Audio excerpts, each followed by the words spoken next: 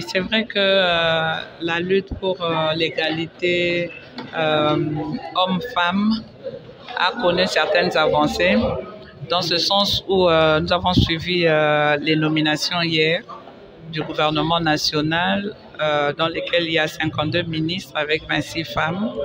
C'est vrai que c'est des avancées, mais il y a encore un grand travail à faire parce que Jusque-là, sur 500 euh, députés nationaux, nous n'avons que 62 femmes.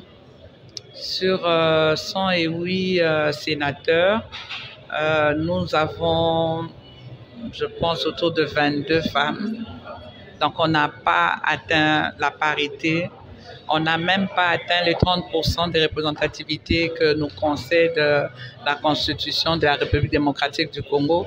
Aujourd'hui, nous parlons de la loi paritaire, donc 50-50. Euh, C'est un travail de longue haleine.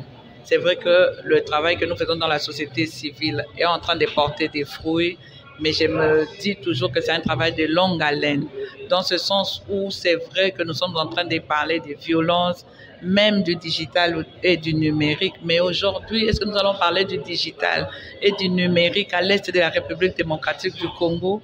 Les violences sexuelles sont utilisées à ce jour comme une arme de guerre dans les zones de conflit armé. Et donc, apparemment, nous avançons, mais en réalité, nous n'avançons pas.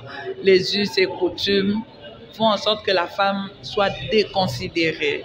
Et il y a un grand travail à faire, que ce soit au niveau de l'éducation, que ce soit même euh, au niveau des universités, que ce soit au niveau euh, des élections et même des listes nominatives. Dans plusieurs partis politiques, les femmes sont là pour applaudir. Les femmes sont là pour euh, encenser certains responsables. On trouve beaucoup de femmes, mais pas dans des postes de prise de décision. On trouve plusieurs femmes en train d'applaudir dans des partis politiques et la femme doit s'impliquer, les hommes aussi aux côtés des femmes doivent lutter pour que la parité soit effective. Là où il y a des femmes responsables dans plusieurs services, la petite expérience que nous avons eue, c'est que les, les, choses vont bien parce que la femme, elle est quelqu'un qui aime vivre dans un oasis d'épée. Et donc, euh, battons-nous pour que la femme soit majoritaire.